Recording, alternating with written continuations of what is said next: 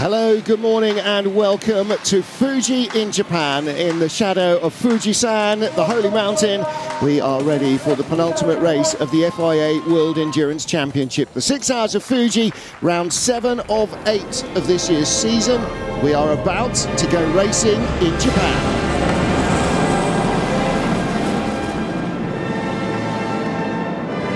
We go green in Japan and an early move across the track from the outside the front row in the grid from the number 8 Toyota has not worked. In fact, rather than keeping the door closed, they have opened the door. Number 15 BMW, Marco Wittmann again starting the race up into second. It is the Cadillac that leads. We rewind back 12 months. Porsche got in front of the pole sitting Toyota at the start and led for four hours. The Toyotas could not get by. And there is a Toyota Porsche battle. That's the seven car Mike Conway, shoved off on the grass by the number six car of Laurens Vanthoor. To the BMW now off the circuit and wheel banging side by side with the Porsche number five into the last corner. The Cadillac in front absolutely bolted. The dream start. We see this slipstreaming going on rolling board with the Peugeot. And the number 83 has a huge lockup and makes contact with car five. The moment you saw the tyre smoke, you knew it was going to be a hit. And somebody got hit in front as well. Uh, there's an Alpine, and is that the 51 Ferrari? Let's see the Ferrari. Is it an independent crash? Was he tagged? He might have just been tagged, but he was going for a move anyway on the Alpine yeah, he was tagged. Yeah. yeah. The Alpine and the 51 Ferrari were innocent victims in that. And it is just, as you start drop downhill into that corner, look in the mirror. And the hands go on the head from the Alpine team. This is that 30-second stop and go penalty for this incident up the inside with the Porsche. And then there's a double contact further ahead as everybody locks up, the Alpine and the uh, factory car. This time around, much, much closer. The Alpine's on the outside. What's he going to do here? Try to switch back on the inside. But I think the Lamborghini might just have it covered. Good Great run, though. Good run, though, from the Alpine on the exit. But he's ah, going to have to overtake the GT car as well before turn three. Yeah, Schumacher had to go the long way around the outside, and he's still on the outside of Mortara, off track. Now the corner comes to him, a long right-hander in turn four and five, double right-hander, but he can't keep the momentum, and that wider line helped Edoardo Mortara. The Alpine is right back with the Lamborghini, and this time the Lamborghini over the curb. Anthony loses traction, and the Alpine is on four wheels on the tarmac. And here comes the Porsche as well, the first the Hertz Team Jota cars. This is Phil Hanson, car number 38. It's not over yet. Down into turn one, the Lamborghini's back. You can see on the slipstream. So this time it's the Alpine that has to defend. The Jota's getting involved as well, having a sniff around. But I think the Alpine's just got this one covered on the exit. Finally, Alpine's in front of the Lamborghini. So Lamborghini loses a spot in Hypercar, but gains one in LMGT3. Sarah Bovy in the Iron Dames car up to second in LMGT3. Left sides only, it looks like, for Earl Bamber. There are two fresh tyres on the side there, and there is more afoot at BMW. It's going to be that run down towards turn one, as we so often see. Oh, Rossi's getting involved. Three wide, Valentino trying to take advantage of that. That's brilliant stuff. And he's read that situation pretty well. Pops up on the inside. He's got to be given space, though, for the other BMW on his left. But Valentino is trying hard to get by both of them, and at the moment, he's got by Augusto Farfus. So Rossi, look, in the double slipstream, thinks about going on the inside, but then thinks better of it. Go back to the outside, cross over the line, appear on the inside. Beautifully done. And picks off the, uh, the sister car in the process before turn three. I'm not sure he thought that overtake here was going to actually happen. Farfus backs out of it quite early and allows Rossi the way through.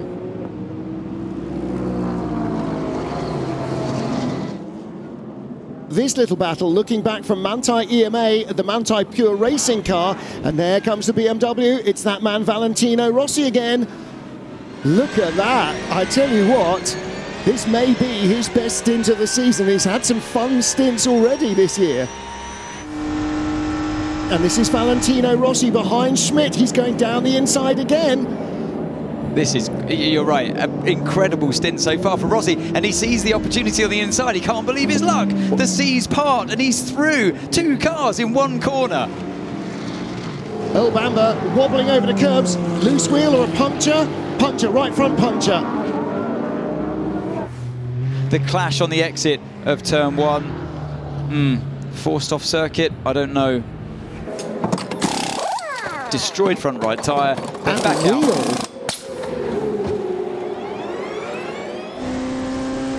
Well, is he down towards turn 10? It goes, and there's a bit of contact there before Lotterer goes to the outside. Nielsen's done a remarkable job here of a defensive driving, and uh, now Lotterer's going to look to cross the line, perhaps. No, commits to the outside again. Nielsen is placing his car beautifully well in all of the right places. What are you going to do this time, Andre? The defensive moves. I think that's what he's done. He's gone even further to the right-hand side and sends it down this time. Can Nielsen swap back on the line? I don't think he will do because his tyres don't quite have the life. There we go. I knew Lotterer was going to do something different. It's like a game of high-speed chess. Ah, you did a good job, mate. Let's keep up as long as we can. Now it's all about tire deg. About 23 laps to go. Yeah, 23 laps to go. come on as De Vries goes for a look down the inside into that final corner and gets that overtake done. It was inevitable that this was going to happen. And yeah, Nielsen, in a way, saying, hey, come on, give me a bit of space on the outside. Uh, don't just drive me off the track. You're going to overtake me anyway. Uh, De Vries now has to defend on the inside and uh, going to have to really break late down towards turn one. Nielsen's not going to give up easily here. I think Nielsen might take this back. This might be De Vries's in lap as well. Nick Nielsen looks to cut back underneath him, and the more he can make De Vries defend, the slower De Vries's last couple of laps of this stint are going to be. Trouble for the Lamborghini. And that will be a turn it off and on again moment, I think, probably. Something broke, something broke on the gearbox. Gearbox, I'm in false. I'm stuck in between gears. Three and four. That's it. It's not the leader. Oh Campbell. my goodness me. That's the five Porsche. Left rear puncture, number seven. Oh, so the, has he sent it up the inside and gone over the curb and spun? We, we saw we saw the in car. You you almost oh dear me, that was very close indeed. This is Kobayashi on the inside. Campbell goes to the outside of turn one, down through the gears. We're we going to go round the outside here? No, we switch back on the inside, and now we're heading towards the outside like they did before turn three. No, and we turn into turn three. Is he hit on the left rear?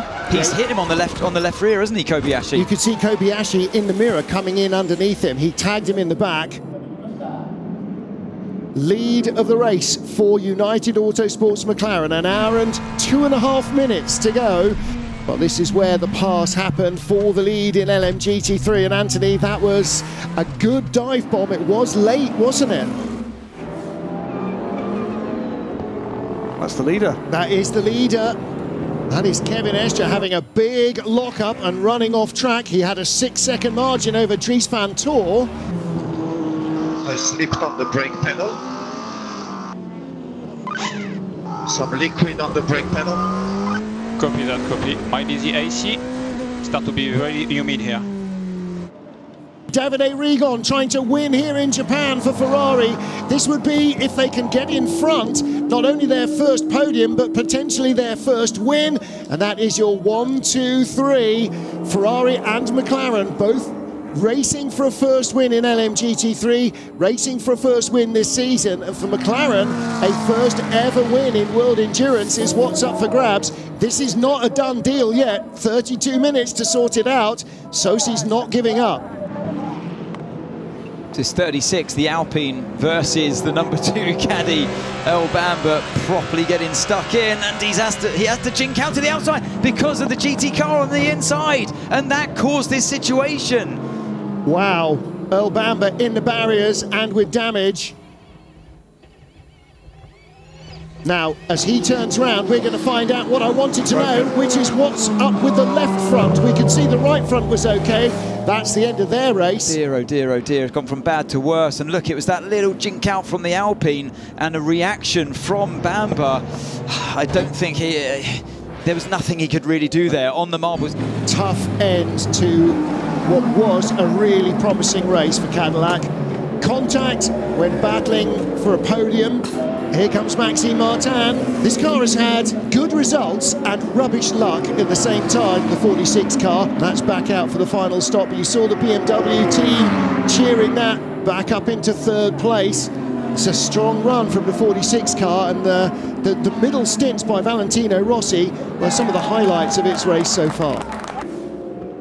Car 8, drive-through penalty for ignoring blue flags and fighting with car 6 at T15 and T16. Car 6 is coming by, so he was overtaking him and he defended the position and, and actually made contact through turn 15. So he had a blue flag and, and fought the position. This is going to be on in 13. It's going to be close. There's a bit of contact between the two of them. Nato hangs around the outside of 13, gives himself the inside for 14 and 15. Great stuff. Well thought out as well by Schumacher. Does he think about going to the inside here? He does. He's popped it down the inside and gets the move done finally in the last corner. Does Nato stay in the slipstream? He will do. So it's not over yet. Don't celebrate too early, team. They know it.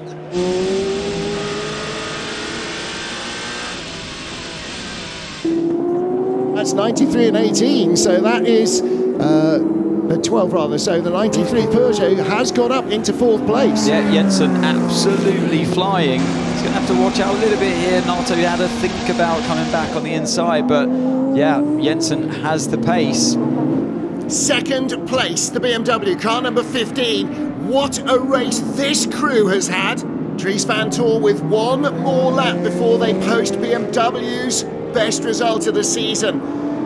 They're all getting ready to join their teammates Sotu, Alpine and the number six Porsche crew. Nobody counting their chickens before the checkered flag, but Kevin Estre bringing the car towards the line. They led for four hours here a year ago. Toyota beat them in the end, but Porsche remains the only team to beat Toyota here in Fuji, and they do it for a second time in a different category. Hypercar victory in Japan for the number six Porsche team, with BMW in second and Alpine in third, their first podium. Checkered flag! flag! We are back! We are back! What a race! Yeah, guys. Great job, great job. Amazing job. Thank you. Mission accomplished for car number 12, Hertz Team Jota. They are the FIA World Cup Teams champions. Congratulations from the Toyota rivals and celebrations for the number six Porsche crew. I was a bit stressed because obviously I know my brother well. I texted my dad, so like I hope he stays calm.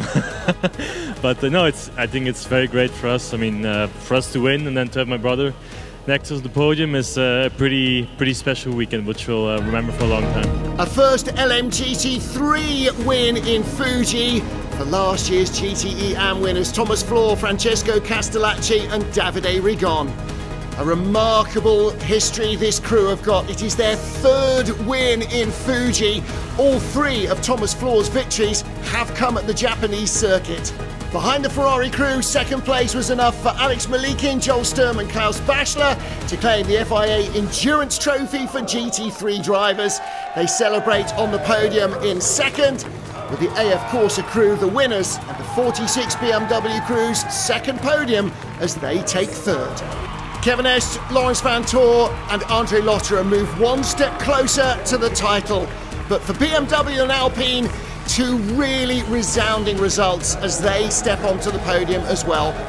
And Porsche has retaken the Manufacturers' Championship lead from Toyota. In the Teams Championship, an all Porsche podium, Hertz Team Jota 1 2 ahead of Proton competition, and the number 12 crew tie up the title. And that is it from Fuji. More to be decided in Bahrain, but the number six crew claiming victory here take a big step towards the title, and Porsche could be manufacturers' champions as well. And what about Ferrari, BMW, and the rest of them in LMGT3? Lots to still be sorted out. It'll be a home race that Toyota will wish to forget, but in Bahrain they still have the chance of winning the Manufacturers' Championship, and that will be their target.